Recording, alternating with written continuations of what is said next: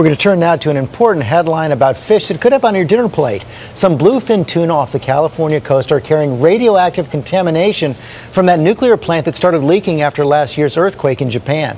ABC's Linsey Davis here with the details. Good morning, Linsey. Good morning, George. Researchers admit they were not expecting this. In fact, this is the first time such a large migrating fish has been shown to carry radioactivity so far. And the scientists involved say the results are unequivocal that Fukushima was definitely the source.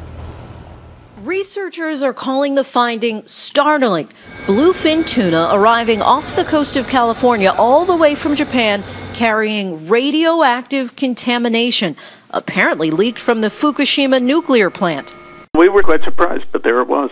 Researchers from Stony Brook University made the discovery about five months after last year's quake and tsunami. The fish had all made the 6,000 mile journey across the Pacific to the U.S. The scientists assumed the radioactivity would have been long gone by the time they arrived because big fish like bluefin tuna, which can weigh more than a thousand pounds, would typically shed radioactive substances easily.